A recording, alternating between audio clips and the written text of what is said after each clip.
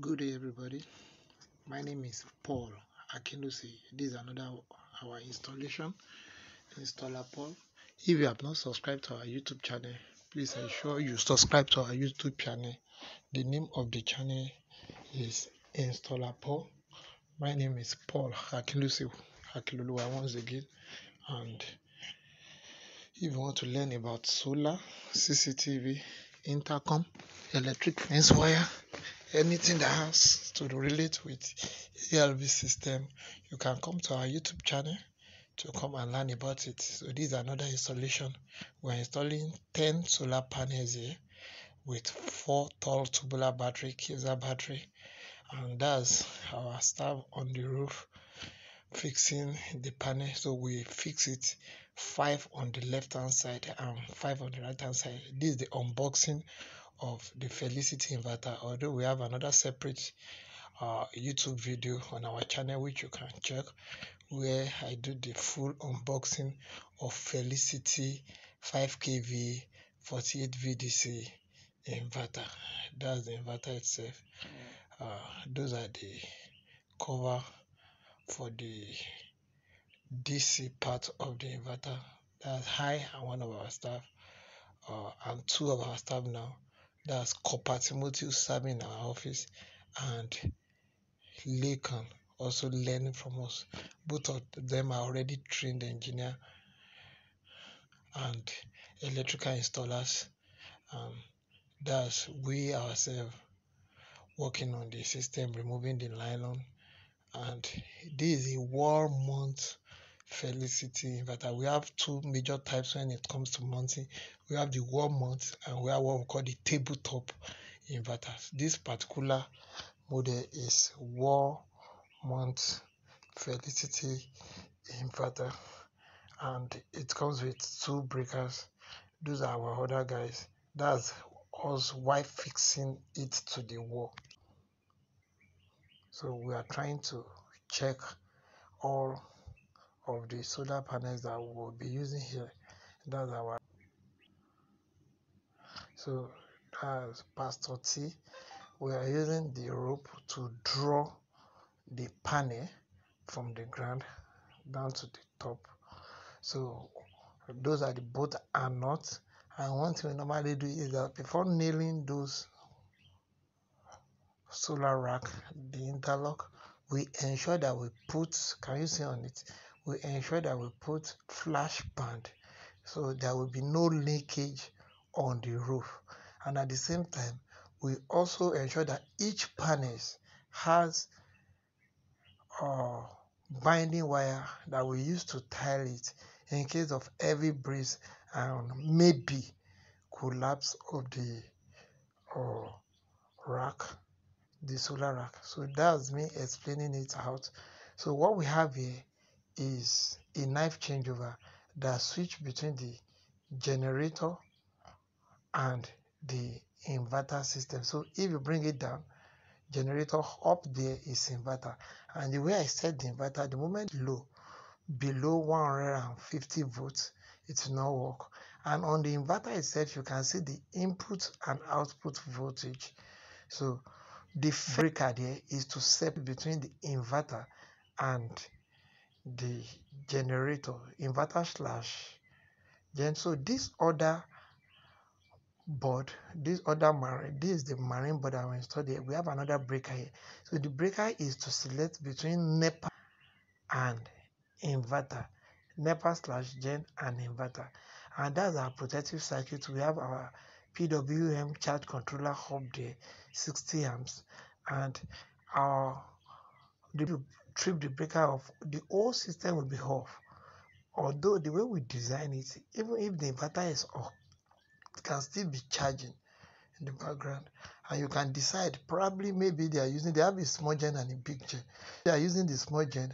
I told them that they can trip off the inverter because the small gen is just 2.5 kV and it can't power the inverter. So when they are using this gen, they trip both the input side and the output side of the inverter. So we have that's our protective circuit. On the protective circuit, we have two breakers, one AC breaker and one DC breaker. The AC breaker breaks between the solar panel and the charge controller. And beside that breaker, we put what we call that one is an DC surge protector. So in case of a probably thunder strike, excess voltage or excess current, the surge protector will protect it and it's green now. I informed them that the moment it turns to red, it means the surge protector is bad. That other breaker is the AC breaker. The first one is DC breaker, this one is the AC breaker. And we have what we call an AVC or regulator there. That's voltage current regulator. And I set it to the minimum of 150 volts. So the moment the electricity go below 150 volts, the inverter will not be charged so that low voltage will not spoil the inverter. And the moment the voltage is beyond 235 volts, it also stop charging. So we put the AVC regulator between the inverter and the mains. The mains can either be from the generator generating state or from the power holding company. So that's the way I, I set it up. And on the AVC regulator, you can see the input voltage and the current that the inverter is drawing per time. In some design, I can decide to put that AVC regulator in both the input and the output part of the load. But in this particular design, I put it on the input part to to control the input voltage. And you know Felicity already have an internal mechanism within it that control the output voltage. At no input voltage Felicity, I set it to bring out only 220 volts. So what we'll be bringing out is 220 volts. And that's the charge controller. I'm explaining the charge controller to the owner of the facility that on the charge controller you can see the voltage as it's coming from solar panel entering into the inverter. Although we also have another type of Felicity inverter that is an hybrid inverter where both the charge controller and inverter are inbuilt inside the inverter. But this particular design, we separated the charge controller and we use the Felicity inverter, which is not an hybrid inverter. And there I'm explaining how they can easily operate the inverter, check the input voltage, check the output voltage. I set the frequency to 50 Hertz because that's what we use here in Nigeria. And I set the low voltage that the moment the inverter gets to a certain low voltage, the inverter will trip off so that it can save the life of the battery. And I also informed them that what we are using here is four tall tubular batteries. And on the battery, we have different indicators. And each of these indicators represents the current state of the volume and the density of the electrolyte inside. So the moment it goes beyond the